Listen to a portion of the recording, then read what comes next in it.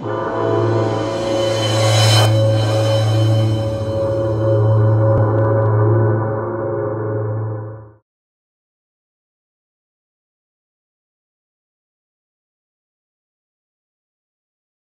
guys, Charles here with D2AP. Um, I wanted to show you this tutorial in uh, Sony Vegas. Uh, a lot of times you'll see it in movies. A guy will be uh, drunk or maybe he gets punched or something like that and his vision will be kind of blurry and he'll be seeing like two or something. Well, it's pretty simple to make this and so I wanted to show you how. Uh, so I already have a clip out here in Vegas. Let me go ahead and turn down the uh, definition here so it's not laggy or not as laggy it may still lag I'm gonna find a place I want it to start um, I'll just split the clip here delete it um, and I'll end the clip here I guess.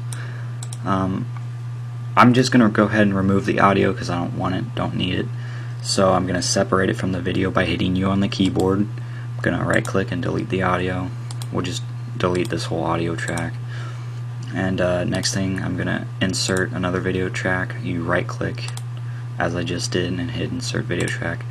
Then I'm gonna copy this one paste on the video track we just made and now what we're gonna do is lower the opacity opacity excuse me to about 50% now hold down control on your keyboard and drag it out just a little bit not too much um, the more you drag it out, the more uh, ghosting you'll see.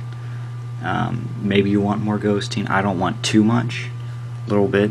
And then uh, if you want to do more, I would recommend inserting another video track, copying this one, pasting it here, and again, slow it down a little more, or hit control and drag it back this way to speed it up. Just play around with it, decide what you like and uh, this has been a D2AP tutorial. Hope you guys enjoyed. I'm out. Peace.